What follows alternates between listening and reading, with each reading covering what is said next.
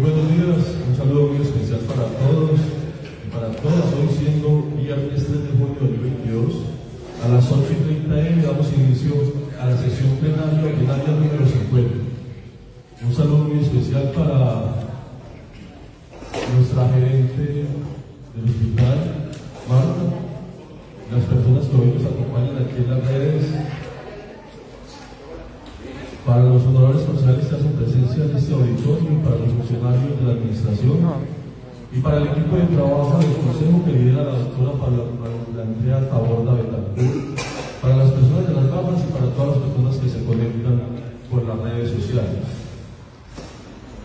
Nuestra presidenta nos informa que hoy eh, llega un poquito tarde por razones de agenda, entonces me ha dicho que le dé inicio Hoy traemos para conocimiento de la plenaria de que nos ven y nos oyen por los diferentes medios para hablar del armadillo coletraje. Esa especie solitaria es considerada casi amenazada en Colombia y sin embargo es una especie desconocida en todo el territorio nacional.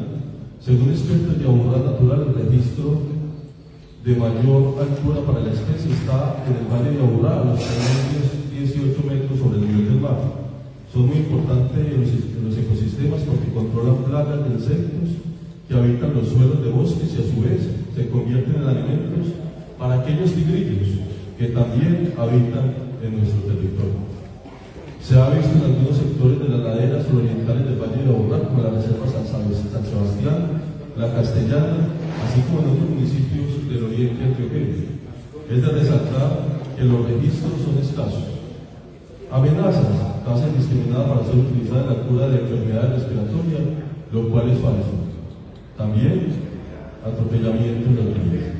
Señora secretaria, muy buenos días. Por favor, sírvase verificar el voto. Con su buenos días, señor vicepresidente primero. Un saludo especial para la vicepresidenta segunda, Sara Caterina Rincón Luis, que estamos esperando que ingrese al presidente de la democracia. Y ya nuestro vicepresidente primero indicó que nuestra presidenta eh, está en otra actividad, Juliana Andrea Pérez Salazar. Un saludo muy especial para los honorables concejales que se encuentran dentro del recinto, John Osvaldo Esquipero, Juan Pérez, Juan Vive, Paula de Restrepo Garcés, Carlos Poza, Bernardo Mora Calle, Sergio Molina Pérez, José Luis Maldonado Sánchez, Gonzalo de Ochoa, Leo Alexander Alzate Suárez y Efraín Echeverri Gil. Un saludo muy especial para la invitada, amiga, Marta Lucía Pérez Arando, gerente de la del Hospital Manuel Uribe también para el médico eh, Carlos Ignacio de la Secretaría de Salud. Un saludo muy especial para nuestra amiga también Contralora Municipal del municipio de Vigado, eh, Lucrecia López Ruiles. Un saludo para las personas que se encuentran en las barras. También nos acompaña la personalidad municipal con nuestro delegado Juan Carlos Torres Mariaca. Un saludo muy especial para el funcionario Lucas Gaviria Henao y también para el equipo de trabajo del Consejo Municipal y también para ustedes, las personas que nos siguen por las redes sociales. Señor presidente, vicepresidente, voy a proceder a llamar a por Julián Andrea Álvarez Salazar, Sara Caterina Lincoln Ruiz, Juan Pablo Montoya Castañeda. Presente. Leo Alexander Alzate Suárez. Presente. Efraín Echeverri. Buenos días para todas y todos. Efraín Echeverri presente, señora secretaria. Lucas Gaviria Gabriela Lucas presente, señora secretaria. Feliz día para todos. Feliz día. Daría Alfonso López de Arroyave. José Luis Maldonado Sánchez. Muy buenos días, presente. Gonzalo Mesa Ochoa. Muy buenos días para todos, todas. Presente, señora secretaria.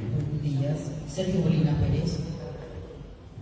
Buenos días, Fernando Presente y buenos días para todos y todas. Buenos días, Carlos Augusto Adelanto. Buenos días, presente. Pablo Andrés Restrepo Garcés. Restrepo Pablo, muy buenos días, presente. Carlos Juan Uribe Mesa. Juan Fernando Uribe Restrepo. Muy buenos días, Juan vive presente. Juan Carlos Pérez Mesa. Hola, Pablo, muy buenos días. Juan Carlos Vélez Quintero, Muy buenos días, presente, señora secretaria. señor vicepresidente primero Pablo Montoya Castañeda, con sus 13 concejales presentes y cuatro oyentes, autor para el decidir. Habiendo un coro para deliberar y decidir, sí va a ser la lectura de los del día. Primero, conversando con la doctora Marta Lucía Pérez Arango, gerente de la S Hospital Manuel Uribe Ángel del municipio de Envigado, a fin de hacer la siguiente presentación. Informe de gestión teniendo en cuenta la invitación que le hizo con las delegaciones del Consejo Municipal. Señor lectura de comunicaciones, tercero, observaciones y proposiciones. Señor vicepresidente, se encuentra leído el orden del día en su integridad. Leído el orden del día, se en consideración de los honorables concejales, señora secretaria. Julián Andrea Álvarez Salazar, Sara Catalina Rincón Ruiz, Juan Pablo Montoya Castañeda, Sí. Leo Alexander Sánchez Suárez, Sí al orden del día. Efraín Echeverri Gil, Sí al orden del día. Lucas Gaviria Henao, Sí al orden del día, señora secretaria. David Alfonso Londoño Rollave, José Luis Maldonado Sánchez, Sí al orden del día. Gonzalo Mesa Ochoa, Voto sí al orden del día, señora secretaria. Sergio Molina Pérez, Sí al orden del día. Bernardo Moracaña, Sí. Carlos Augusto Sabetancú, José Carlos, sí. Paula Andrea Restrepo Garcés. Carlos Manuel Uribe Mesa, Juan Fernando Uribe Restrepo, Juan Uribe sí al orden del día. Juan Carlos Pérez Mesa, Doctora Paula, Pérez Mesa Juan Carlos, sí al orden del día. John Osvaldo Vélez Quintero, Sí al orden del día, señora secretaria. vicepresidente Juan Pablo Montoya Castañeda, con sus 13 concejales por el cielo orden del día y cuatro concejales ausentes. Ha sido aprobado el orden del día. Se le da un saludo nuevamente a nuestra gerente del hospital, que nos presentará el día de hoy un informe de su gestión en la área lo llevan. Sin antes saludar de una manera muy cariñosa y afectuosa a nuestra Contralora de donde yo vivo y a nuestro representante de la personería, Juan Carlos Torres Mariano. Le Me disculpa si son tres, claro. Ah, bueno, señor.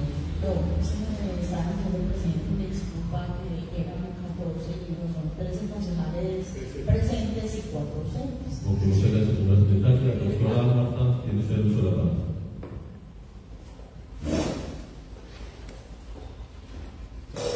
Bueno, buenos días a todos los honorables consejeros. Bueno, quiero. a ver, ¿está pasando? ¿Aló? ¿Aló? Bueno, buenos días para todos.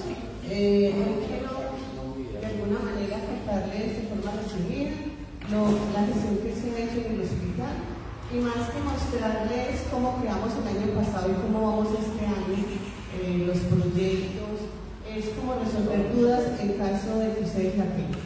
El Hospital Manuel Uribe Ángel, el año pasado, mm, listo. Nosotros tenemos un plan de desarrollo 2020-2023 y estas líneas que para nosotros son unas líneas estratégicas, pilares y soportes de toda la acción que hacemos en el hospital son cuatro. La primera, importantísima para nosotros, es que eh, es una atención con calidad centrada en el usuario y su familia. La segunda línea, nosotros queremos que sea una institución que aprende y que transfiere conocimiento. Por eso esta es la, el aprendizaje, la transferencia de conocimiento, el bienestar y queremos generar en nuestro hospital una cultura organizacional de servicio. Importantísimo en la tercera línea, ¿sí? Señora Presidenta, señor, señora Secretaria, vamos a tener presente a la concejal y presidenta del Consejo, Juliana Andrea Álvarez Salazar. Sí, señor vicepresidente. Un buenos días, presidente. Buenos días, doctora Juliana. Les hablaba que nuestra tercera línea habla de la gobernabilidad, de la sostenibilidad y la creación de valor. Y también nosotros, obvio, queremos un hospital en Uribe Ángel competitivo, que tenga ambiente seguro, que hagamos innovación tecnológica y que tengamos una información oportuna y confiable para tomar decisiones. No, sí, qué pena para pasar o si quieren me hago allá y voy pasando. Como te quede más fácil. Listo. Gracias, Pilar. Te devuelves por favor a la otra. Nosotros el año pasado quedamos con una venta de 159.489 millones. Quería contarles que la época de la pandemia, o sea, 2020 fue una época difícil porque las mismas directrices de nuestro gobierno nacional con la cuarentena, entonces las personas no iban a consultar y nosotros teníamos que diferir las acciones que fueran ambulatorias. Les explico, solo podíamos atender la urgencia para reservar todas las camas y todo lo que tenía que ver con las UCI para los pacientes con COVID. Nunca nos había pasado, cayeron las ventas pues abruptamente. Nosotros veníamos en una curva de crecimiento que como ustedes lo pueden ver, desde el 2017 nuestro crecimiento ha sido mucho, 118 mil millones, 125, 135 mil y abruptamente en el 2020, sobre todo abril, fue un mes donde lo que vendimos fue nada.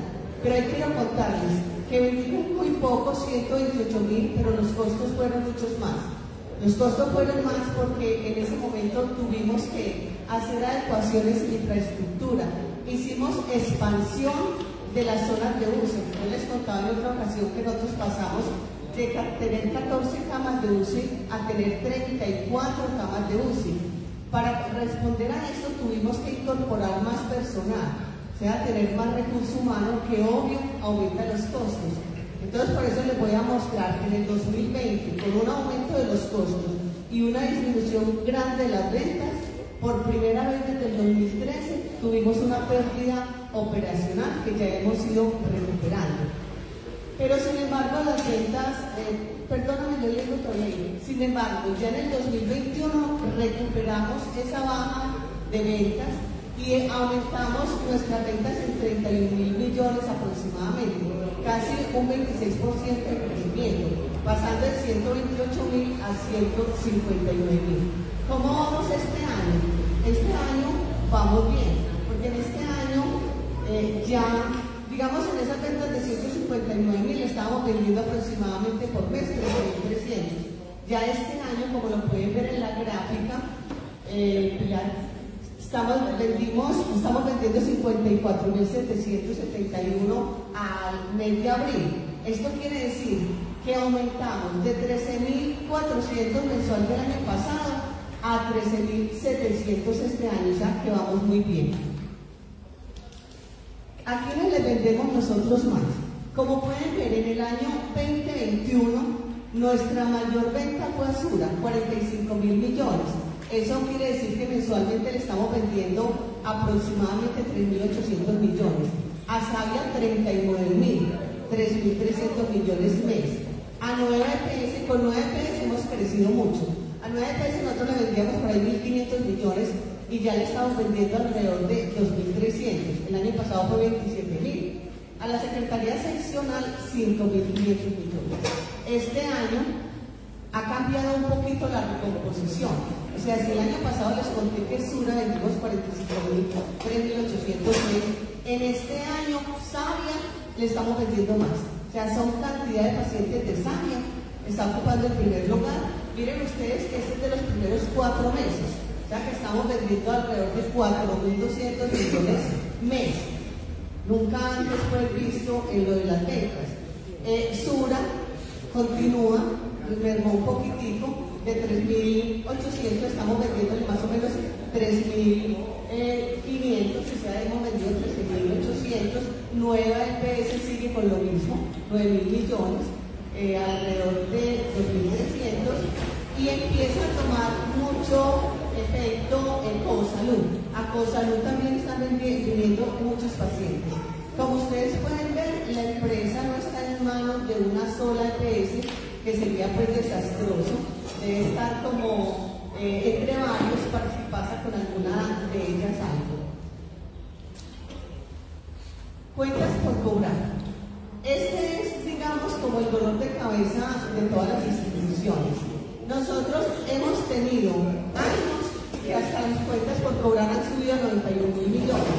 Como pueden ver ustedes, en el 2019 fueron 90 mil millones.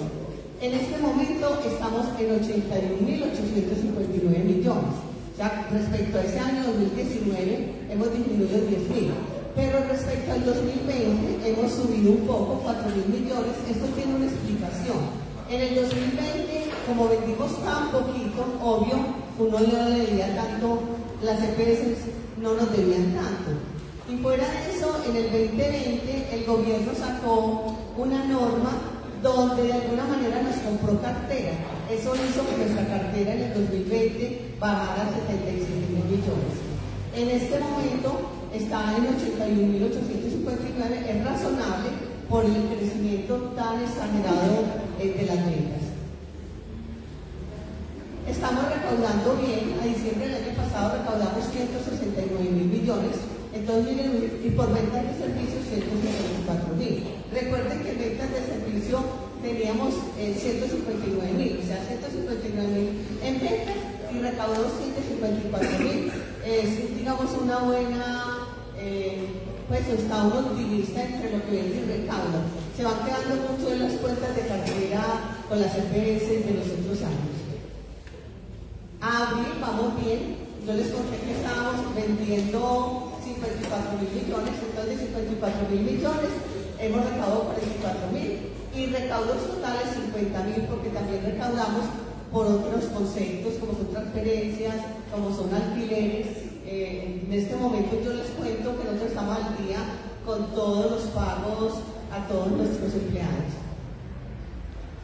Cuentas por pagar. El año pasado por primera vez en la vida eh, quedamos debiendo 26 mil millones, pero les cuento, en diciembre no teníamos una cuenta vencida sin pagar.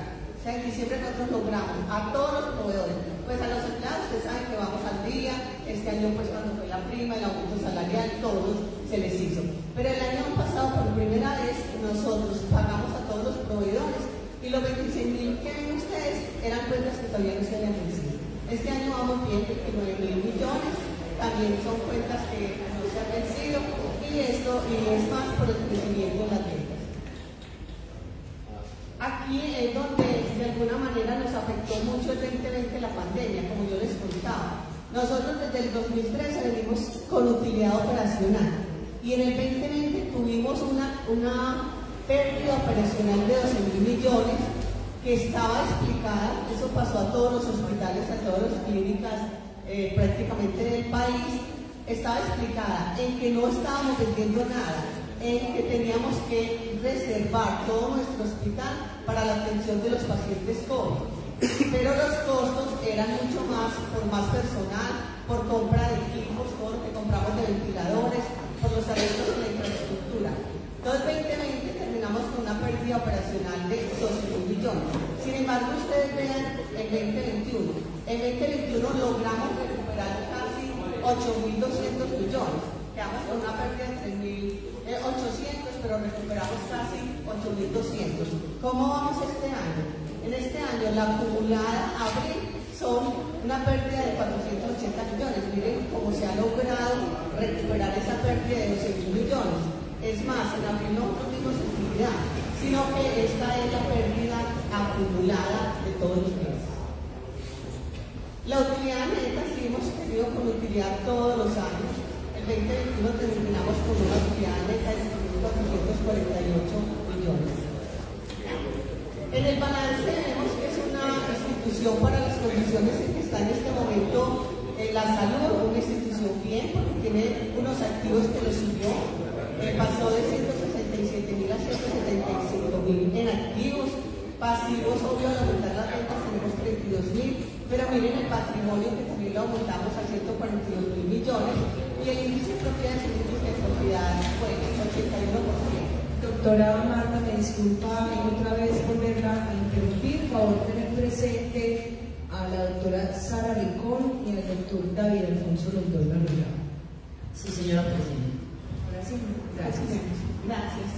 En la gestión clínica, nuestra razón de ser es que hemos estado con una producción competitiva en Valle de Aburrá. El año pasado nos atendimos 105.180 pacientes. Como pueden ver, el mayor número de nuestras atenciones son para el hígado. Nosotros, de todos esos 105 mil, el 55% es población de Envigado. Medellín el 17 y también el 7. Pero fíjense ustedes que siempre estamos atendiendo una mayor población de Envigado, el 55%. Urgencias, el año pasado atendimos 48 mil pacientes. Cirugías hicimos 11 mil. En partos atendimos 2.696 partos, 225 bebés. En los partos, sí, el municipio que atendemos más partos es Itagüí. En Itagüí ustedes pueden ver que atendemos el 38%, en Vigado le atendemos el 15%, Medellín el 15%, muy parecido. Hospitalizamos 13.000 pacientes, 13.402. En la unidad de cuidados neonatales atendimos 543 niños. En la unidad de cuidados críticos atendimos 1.040 pacientes en los que tienen que ver con eh, afecciones cardiovasculares. Y en las seguimos con 34 UCI, nosotros no cerramos a pesar de que la pandemia bajó, no volvimos a las 14 camas de UCI, sino que quedamos con las 34 bien. Atendimos el año pasado 1.864 pacientes. En la unidad cardiovascular hicimos 3.975 procedimientos, eso fue la atención de los pacientes. Consulta especializada 23.992 82.957 en imágenes diagnósticas, que es todo lo que tiene que ver con tomografías, ultrasonidos, ecografías, bueno, todo lo de radiología. En ayudas diagnósticas son las abdominales, las cistoscopias. Hicimos 6.569 exámenes, ahí están discriminados por endoscopias, eh, todas las cistoscopias. En transfusiones y en el laboratorio hicimos 568.995 exámenes. Miren, casi medio millón de exámenes de laboratorio. En oncología, todo lo que tiene que ver con pacientes con cáncer, hicimos 4.370 quimioterapias. Al menos hacemos más o menos 364 quimioterapias. En la complejidad, o sea, todo lo que tiene que ver con Santa Mercedes y las uvas, atendimos 13.000 pacientes por medicina general, 7.318 en oncología y todas las promociones y los 14.154 actividades. Eh, continúa. Quería contarles que la satisfacción del usuario, a pesar de que el hospital vive lleno, que en urgencia les toca esperar, es del 97.48, esta es la medición de este año. O sea, hasta abril 948, 97.48% satisfacción del usuario. Nosotros tenemos en este momento en el hospital 1.108 personas, de estas 987 son vinculadas y 121 son prestación de servicios. Casi eso tiene que ver con los médicos especialistas. Hicimos 4.163 millones en renovación en conectividad, ya todo lo que tuvo que ver con compra de equipos de cómputo, toda la ampliación de la capacidad de conectividad, todas las licencias. En infraestructura implementamos eh, una inversión de 1.299 millones, esto es por fuera de lo de la torre que ahora les cuento.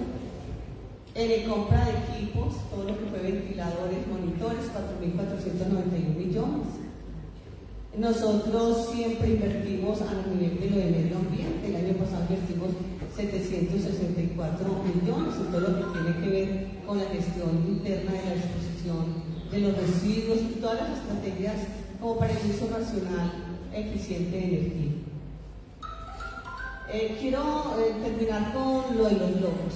Nosotros en esta pandemia invertimos 15 mil millones.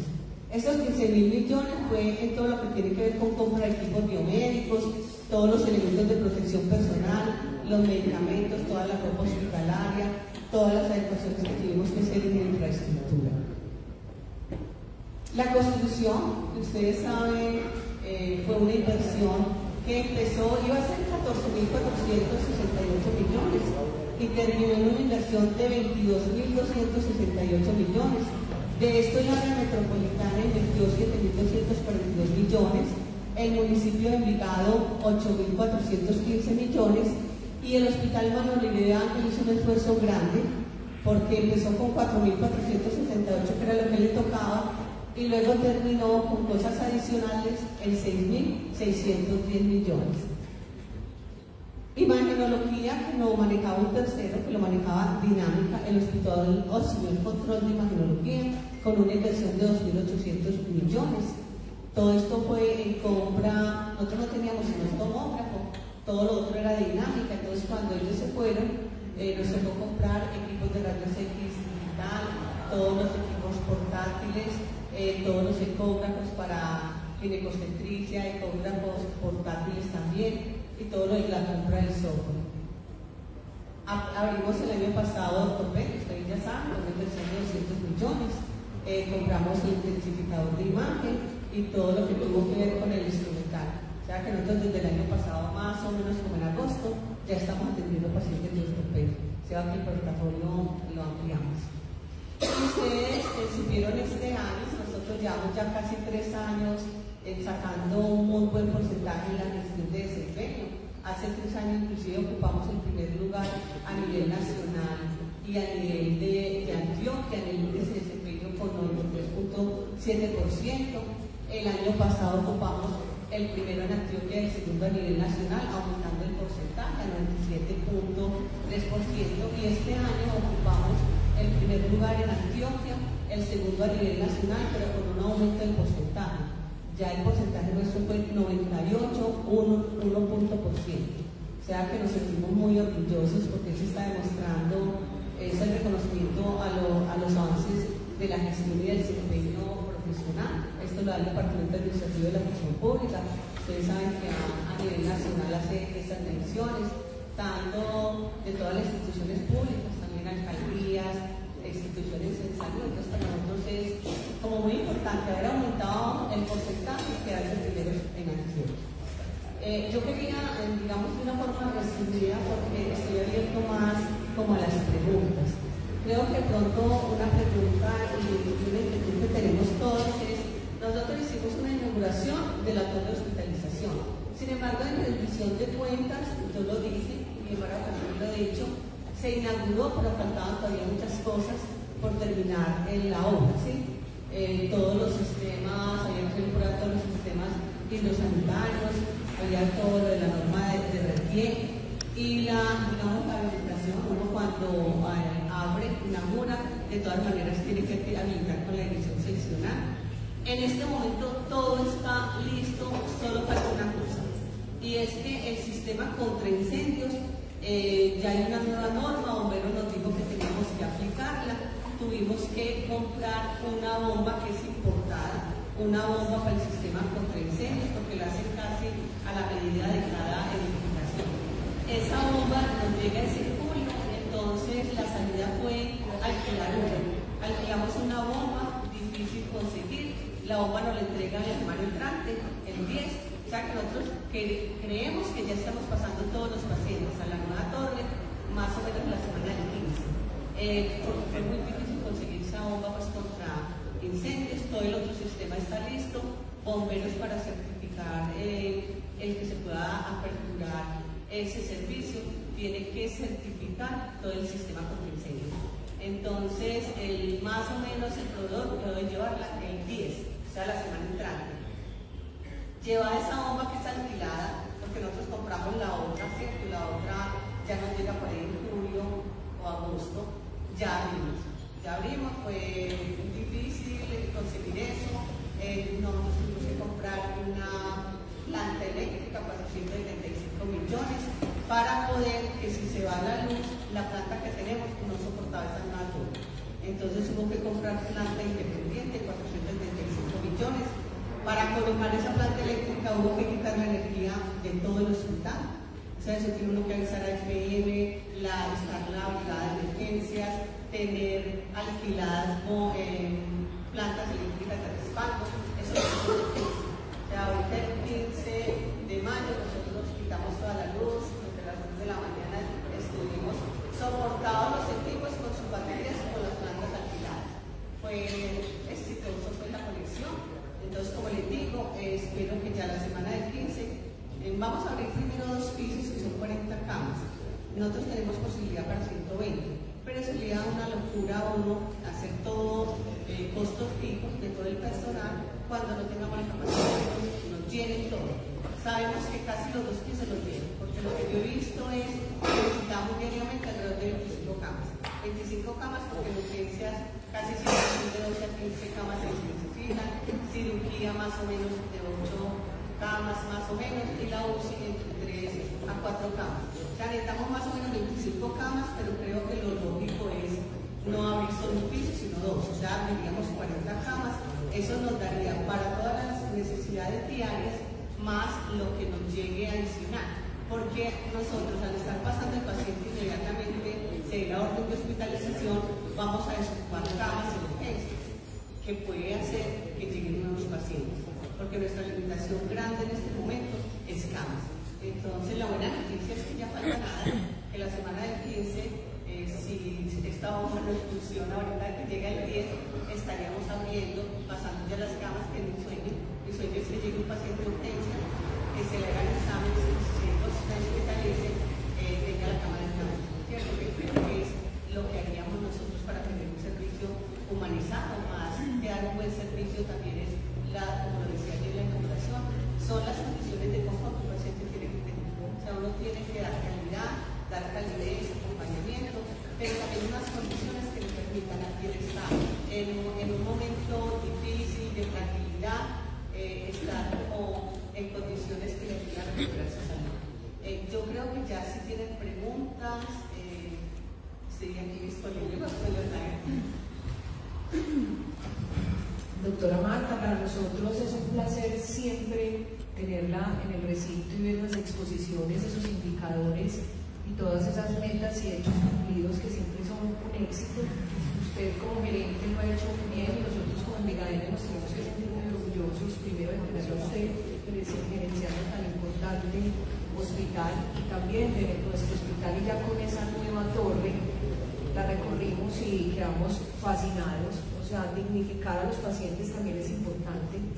Y, no, mejor dicho, unas instalaciones más que perfectas para, para los enfermos y para las personas pues, que desafortunadamente tienen que estar en el hospital. No sé quiénes de mis compañeros desean el uso de la palabra. Disculpen, por favor, tener presente a Carlos Manuel Uribe Mesa. Sí, señor. Ahora sí le damos el uso de la palabra a Sergio Molina.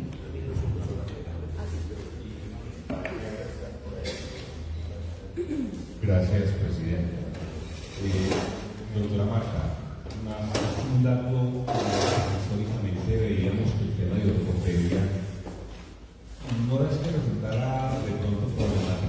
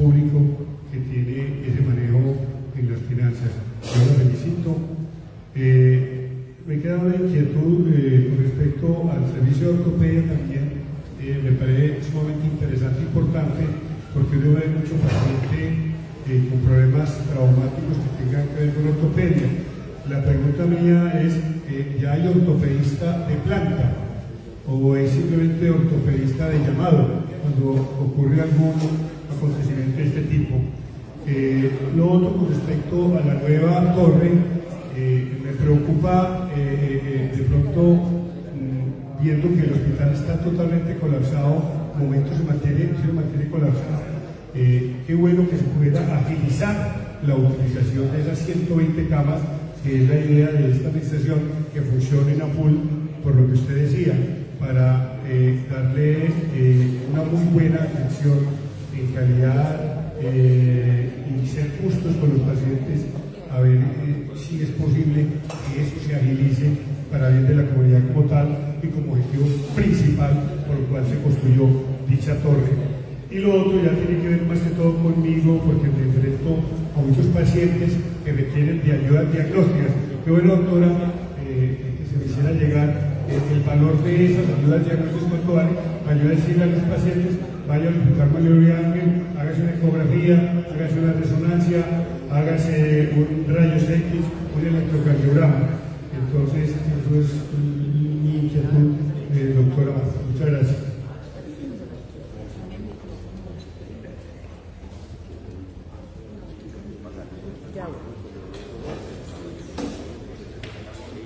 Ahora, ahora le damos el uso de la palabra al profesional de WhatsApp.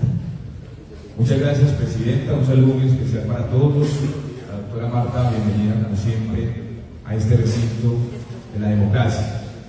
Mi pregunta, no antes, sin felicitar toda su gestión y que ver esto, este índice de desempeño, pues a todos nos llena de mucho orgullo y satisfacción en la manera como venimos desarrollando y manejando el destino de nuestro hospital. Doctora, a, a propósito de este informe de gestión, me vienen, me vienen como a la cabeza las preguntas en relación a la nueva torre. Eso en cuanto nos va a incrementar en gastos operacionales, es decir, si vamos a, necesitar más enfermeros, médicos, es decir, todo lo que llamamos talento humano, eso en cuanto más o menos se ha ido también proyectando que va a incrementarle eh, presupuestalmente al hospital. Eso ahorita nos hablaba de aumento también de compra de camas por demás de otros insumos. No sé si eso también ya lo tenemos cuantificado en términos de, de aquí en adelante cuánto nos va a costar la operación de esta nueva torre que hemos dejado al hospital. Sería mi inquietud, señora Presidenta. ¿Algún otro concejal desea el uso de la palabra? Le damos a Efraín Echeverría.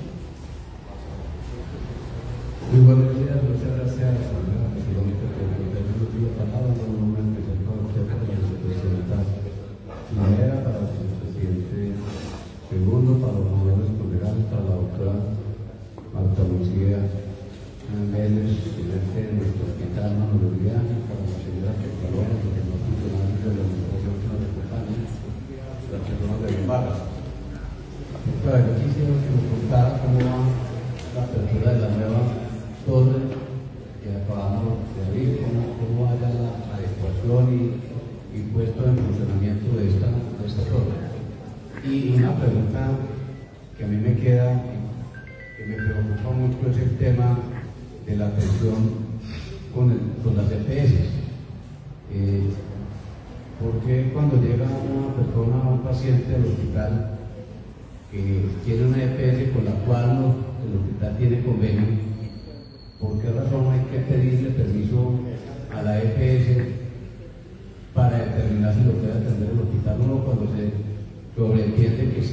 un convenio de esa EPS con el hospital no, es necesario pedir permiso? Es que no me parece realmente insólito.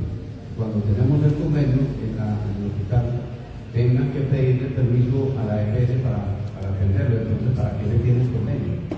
Eh, en ese sentido tiene que quedar claro el convenio, que si llega el paciente con, que, que tenemos convenio con esa EPS, pues por, por supuesto debe ser atendido y no tenerse que colocar ustedes en la situación tan difícil de tenerse que poner a a pedirle autorización a los directivos de la EPS para atendernos.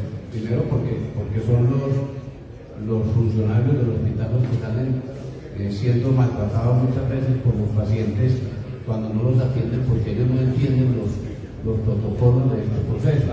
Yo, quisiera que nos cuente si es posible o por qué razón esa situación y que queden esos convenios claros y que si hay convenios no tengamos que estar pidiendo permiso para tratar al paciente.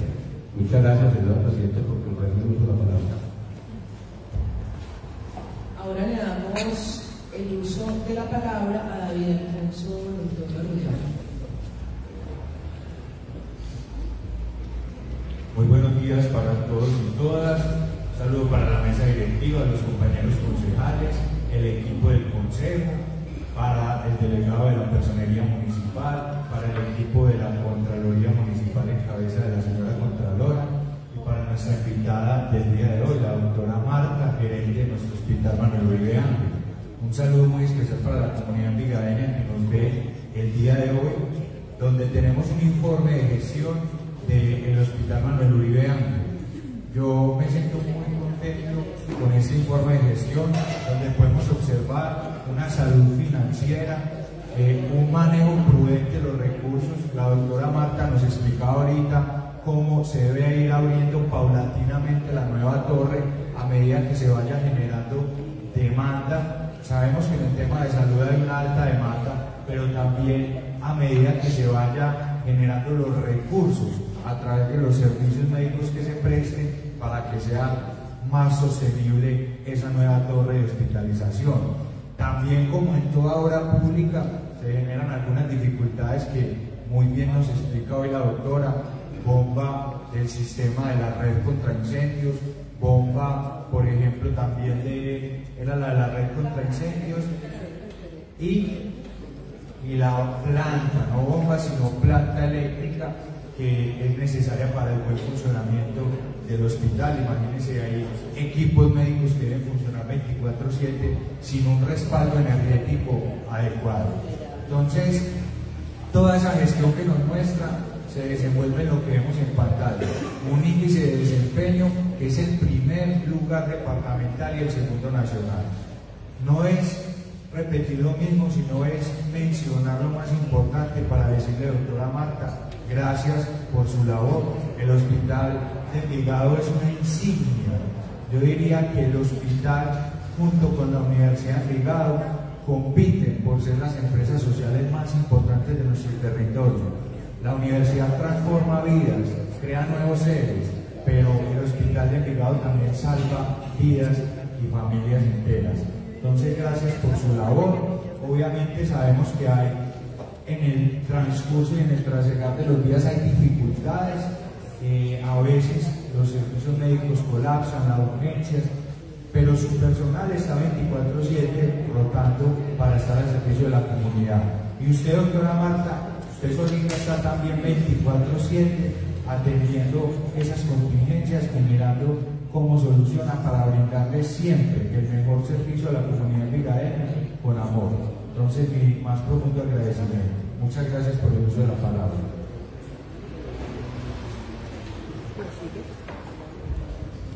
Bueno, ¿algún otro concejal desea intervenir? Le damos el uso de la palabra a Pablo Restrepo. Muy buenos días, señora Presidenta. Un saludo muy especial al señor eh, vicepresidente segundo, el amigo Juan Pablo Montoya. Un saludo especial a la doctora Sara Rincón. Un saludo también todos los compañeros del honorable consejo, la doctora Lucrecia Londoño, saludo muy especial a Juan Cárdenas también de la Confería, eh, al personal delegado, al amigo Carlos Torres y especialmente a la doctora Marta Vélez y a Carlos Ignacio de la Secretaría de Salud, un saludo muy especial. Yo, doctora, no me quiero extender mucho, pues, eh, en realidad no tengo sino palabras de agradecimiento con su gestión con el Hospital Manuel Uribe Ángel y resaltar algo importante es el, índice de desempeño. Es un hospital público con un indicador en el 98.1%. Es un indicador de sentirnos nosotros orgullosos del hospital que tenemos hoy en lado. Entonces estamos hablando de un hospital público Normalmente uno ve son los hospitales privados con esos porcentajes, pero un hospital público es muy difícil verlo con un porcentaje de esa magnitud y más que es primero a nivel departamental y segundo a nivel nacional, un hospital público. Entonces hay que resaltar esa gestión que usted viene desempeñando durante varios años en esa administración. Otro, que, otro logro que resaltar, doctora, es la nueva torre de hospitalización. Eso va a generar más servicios, va a generar, eh, llamémoslo un poco de, de, de apoyo más hacia la comunidad con temas de urgencias, con temas de otras patologías, que va a ayudar a que el servicio se preste mucho mejor. Y también hay que recalcar lo de la planta de oxígeno, que eso hay que también cacarearlo, hay que contarlo. Que Envigado fue el hospital público, Envigado, el hospital fue el primer hospital que puso en marcha una planta en, época de pandemia, que eso no se nos puede olvidar que eso es una gestión suya, que también no hubo apoyo del departamento de Antioquia, pero hay que recalcar eso, doctora, y de verdad que hoy, hoy precisamente escuché las noticias esta mañana de la grave crisis que hoy tiene el país por eh, temas respiratorios, donde hay una gran ocupación de urgencias y de UCIs, hoy ya no es COVID, sino que otras patologías, me lo dijeron en las noticias esta mañana, ver que nuestro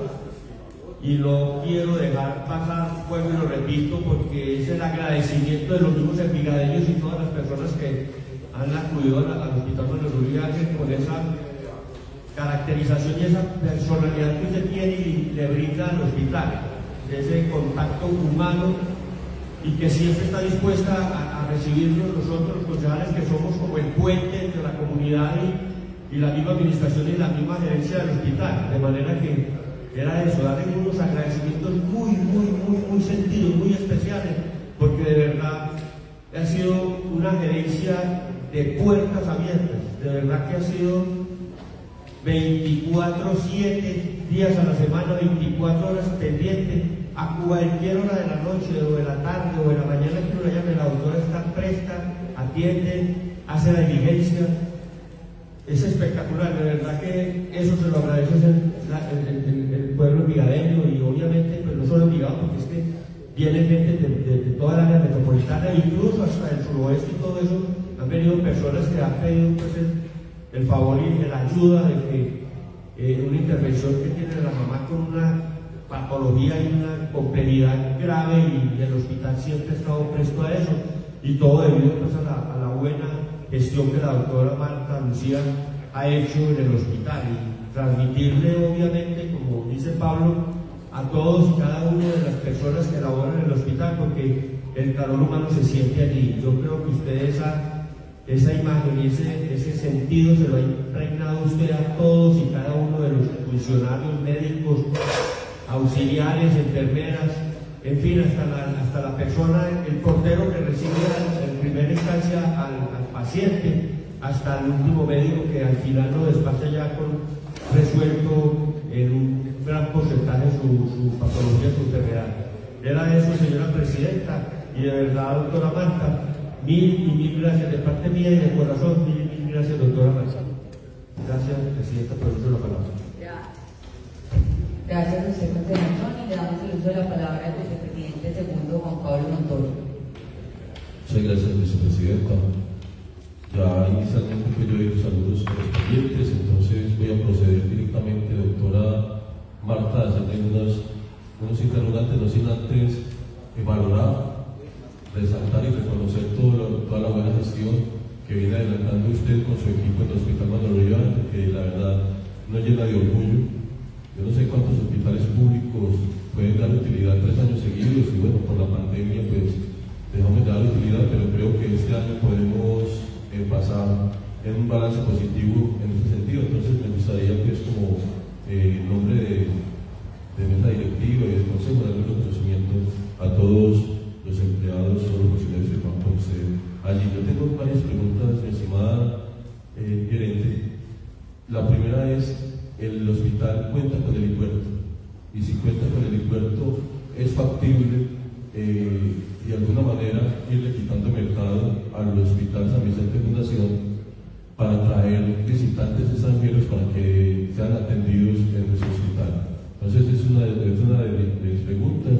La segunda es eh, la torre de hospitalización, si bien necesitamos los permisos de la Dirección Seccional de Salud de para poder colocarla a operar, de alguna manera se está haciendo algún mercadeo o se está ofreciendo la torre para las diferentes EPS o para los diferentes usuarios que podrían hacer uso de la, de la misma torre. Y finalmente, el día, que, el día que se entregó la torre, que hizo parte de, de esa entrega el doctor Luis Fernando, que vino en representación del gobernador de Antioquia, el cual exaltó la labor de nuestro hospital y cómo era ejemplo y modelo no solamente en Antioquia en Colombia, y que la iba a tener en cuenta para que asesorara o acompañara el proceso de otros hospitales.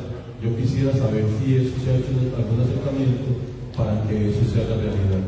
No es más, mi estimada vicepresidenta primera, muchas gracias por la palabra. Gracias a su concejal, algún otro concejal que desee intervenir. No, no habiendo más concejales para intervenir, le damos el uso de la palabra a la doctora Marta para que le dé respuesta a cada una de las inquietudes. Doctora Marta, solamente darle presentación. Voy a tratar entonces de ser rápido para otro evento. Entonces, lo primero, eh, ortopedia, entonces, ortopedia, hace unos años nosotros la tuvimos. En ese momento quedaron unas deudas, sobre todo por lo del SOA, lo de los accidentes de tránsito. El hospital no tenía muy buena experiencia en la facturación, la facturación era centralizada en Bogotá, entonces casi siempre la devolvía. Entonces en ese momento se tomó la decisión de no continuar con la ortopedia porque era un índice muy alto en los accidentes de tránsito y de motos.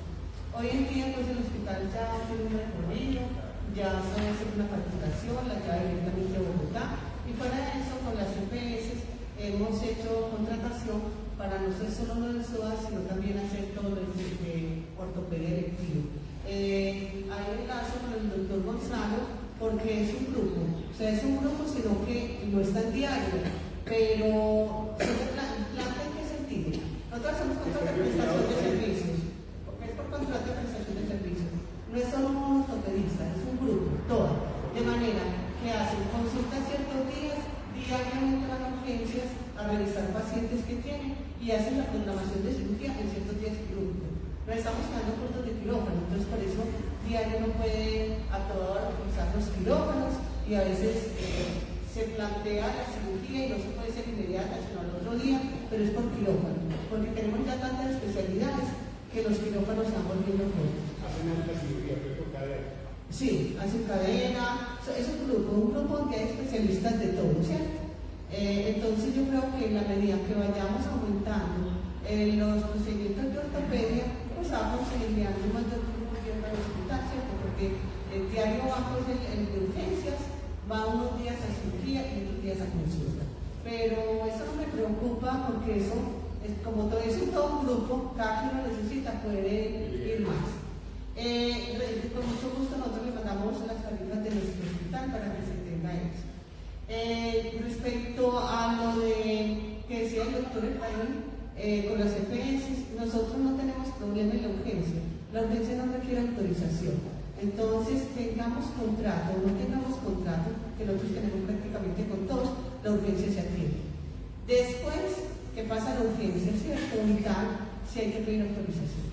Entonces, hay que pedir autorización para si nos permiten hacer alguna cirugía, hay que pedir autorización para hospitalizar, de manera que no es tan libre, no es la decisión del hospital. Si usted no pide autorización, hospitaliza a un paciente, toda esa cuenta la glosa. el hospital perdería la cuenta de lo que haga sin autorización. Si yo hago una cirugía, la glosaron, la devolvieron, pierde el hospital. Si hospitalizó a alguien sin autorización, pierde el hospital. Y eh, la autorización es porque las EPS tienen diferentes contrataciones con más clínicas. Entonces a veces hacen la contratación que se llama pago global prospectivo donde le dan a, un hospital una población y tiene que responder por todo eso. Entonces, cuando llegan nosotros, nos sacan ese paciente para poderlo llevar donde tienen ese tipo de contratación. También se consolidan con temas. De manera que ahí se nos sale de las manos a nosotros decir, ha ocurrido, por ejemplo, nosotros nos ha ocurrido que tenemos la capacidad, llega un infarto, hacemos lo primero, sí, y tenemos la capacidad de cualquier cirugía cardíaca, y la EPS dice, no, ese paciente va para la clínica de las Américas. Por ejemplo, una EPS, todo el tema cardiovascular con quién lo tiene, casi con las Américas.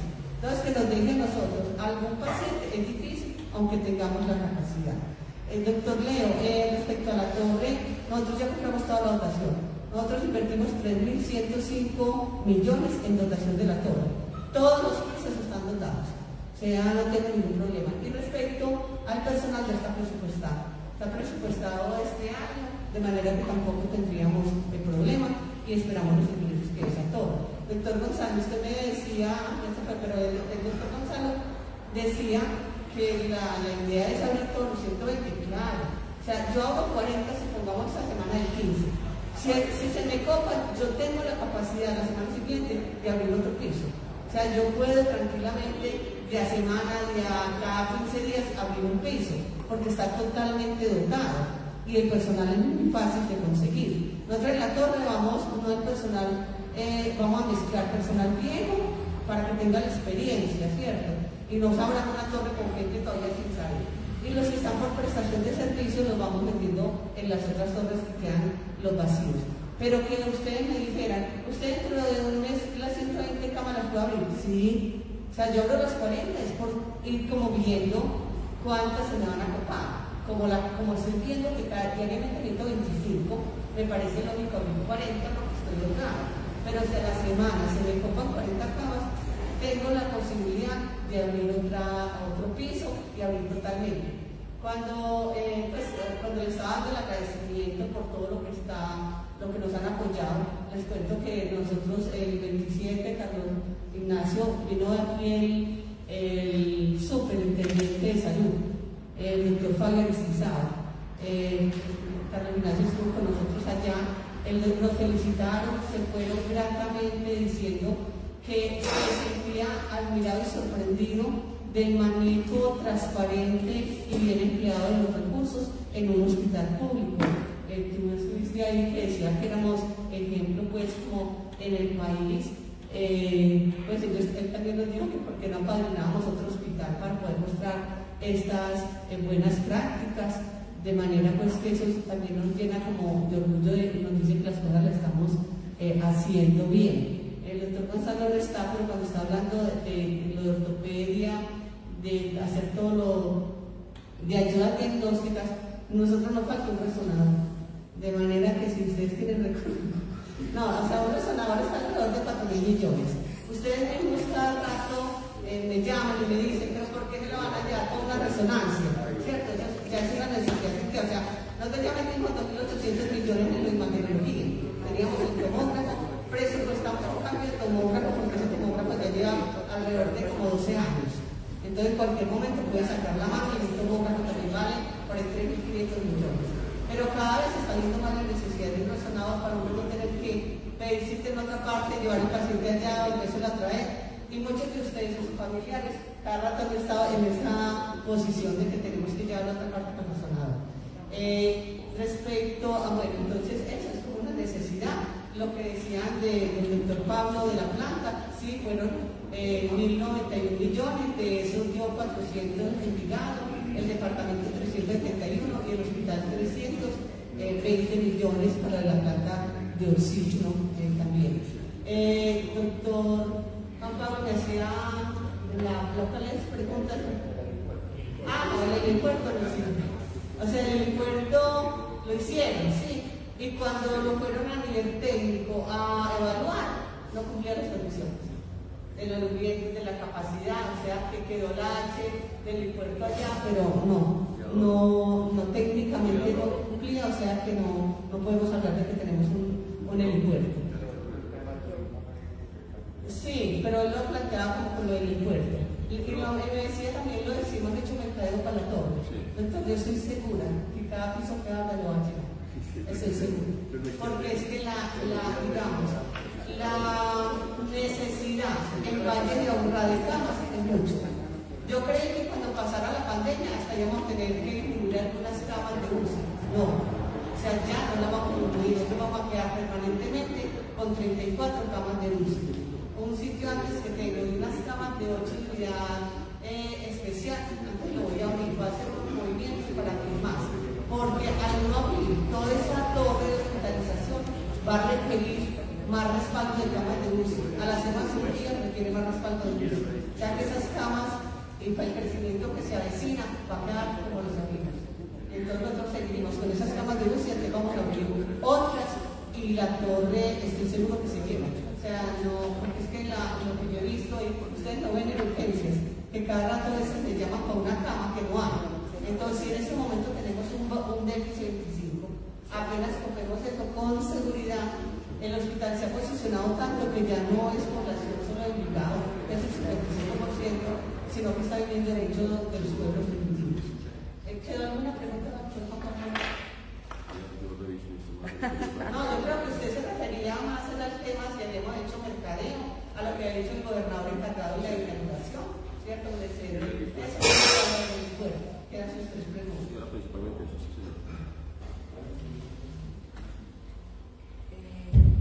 Le damos el uso de la palabra a el concejal Efraín Echeverría. Sí, pero después de que le haga la pregunta, porque ya también está en conflicto. No, la verdad que, que me uno pues como todos los honorables profesionales al reconocimiento de su gestión administrativa en los estados no con la menor duda. No solamente la gestión administrativa, sino también ese trabajo humanitario que usted hace más es valiosísimo, no tiene discusión. Eh, no solo por mí, sino porque no soy testigo del tratamiento que llaman los pacientes después de que, de que entran al hospital. Problemas con las EPS para entrar.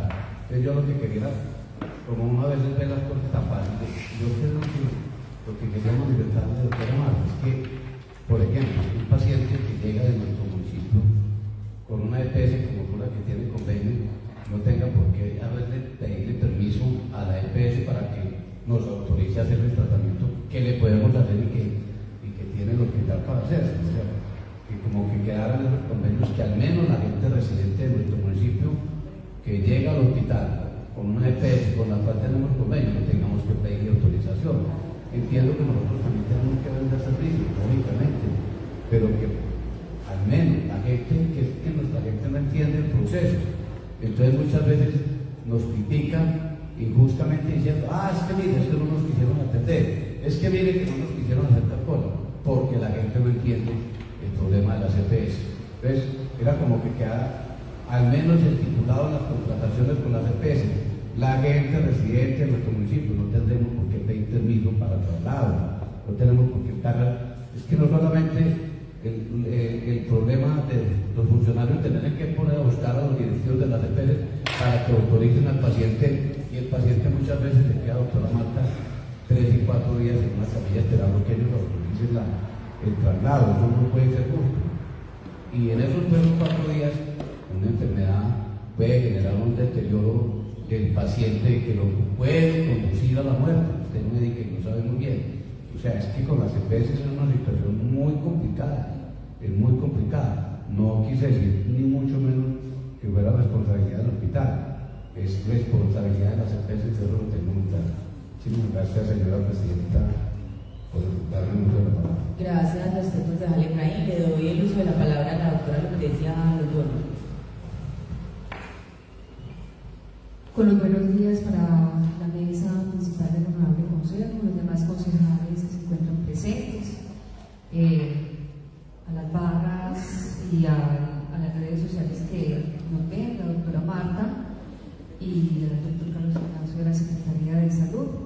Simplemente para informar al Honorable Consejo, pues días anteriores ya lo había hecho a través de la revisión del informe de auditoría financiera y de gestión que se había practicado al Hospital Manuel Uribe Ángel, eh, la, eh, los resultados de la misma evaluación que se llevó a cabo en el mes de febrero, marzo y abril del presente año, evaluación a la vigencia 2021, entonces eh, informando que el Hospital Manuel Uribe Ángel, mm, pues de acuerdo a nuestra labor, pues, dentro de las competencias que le compete a la Contraloría, eh, dio como resultado de la evaluación de estados financieros para el año 2021 que emite una opinión limpia o sin salvedad.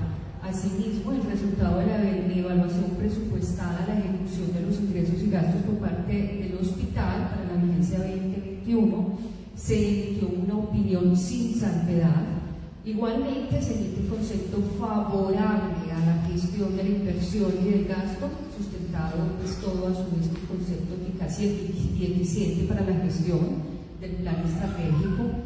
Eh, también pues esto nos da como resultado que eh, la auditoría fenece la cuenta rendida al Hospital Vive Ángel para la vigencia fiscal 2021. Pues quería simplemente eh, contarle a los honorables concejales los resultados de la auditoría, de la cual quedaron solamente seis hallazgos administrativos que por supuesto eh, ya el hospital nos remitió el plan de mejoramiento como tal. Eh, entonces, eh, muchísimas gracias por conceder la palabra. Gracias, doctora Lucrecia. Muy importante pues también como concejales saber de esta información. No sé si la doctora Marta desea eh, responderle al concejal Efraín eh, el último cuestionamiento que realizó. Eh, doctor Efraín, lo único que usted puede estar tranquilo es que mientras permanece un paciente en nuestro hospital, es nuestra responsabilidad, aunque no nos autorice. Usted llega con un paciente con una apendicitis, nosotros tenemos autorización para cirugía, pero si no nos están autorizando, una apendicitis es una urgencia una urgencia vital, puede ser la peritonitis, el hospital la hace. Eh, estamos un paciente pidiendo la autorización para hospitalizar, pero mientras no nos llegue la autorización, nosotros hacemos lo que está evitando el paciente. O sea, no lo pasamos a la cama de hospitalización, pero se le está colocando los medicamentos, se le hacen los exámenes, como que estuviera autorizado. ¿sí? Simplemente lo hacemos en urgencias y se pasa eso como la urgencia porque no se lo han llevado y lo estamos estabilizando. Entonces, eso como para tranquilidad de todos ustedes, que no porque no nos autoricen, uno para la atención, no. Un paciente está atendido y se le está colocando todo. Y mientras no se lo lleve por otra parte, la responsabilidad es nuestra. Y el hospital haga lo que tenga que hacer, aún así le glosa. Lo único es que uno sí dice, no lo han autorizado para hospitalizar, o si es una cirugía que es diferida, el ortopedia, el ortopedia casi son poquitas las cirugías urgentes son las fracturas abiertas de cadera o algo. El resto da tiempo. Entonces, no se le está haciendo el procedimiento, pero se le hace para el dolor, se inmoviliza, de manera que pueden estar tranquilos, que no dejamos de hacer lo que hay que hacer hasta el momento. Se después la revisión o no lo la hacer. Gracias, doctora Marta, por solucionarle las inquietudes a todos los funcionarios. Eh, le solicito a la doctora Paula Taborda continuar con el orden del día. Sí, señora Presidente, primera eh, Segundo, lectura de comunicaciones. No se encuentra ninguna comunicación en la Secretaría General del Consejo. Continuemos con el orden del día. Tercero, observaciones y proposiciones. ¿Algún concejal tiene alguna observación o proposición? no teniendo eh, reposiciones de observaciones, continuamos el orden del día. Señora vicepresidenta, el orden del día se encuentra agotado. Eh, agotado el orden del día, damos por terminada la sesión y se les citará oportunamente para el día de mañana. Muchas gracias a todos.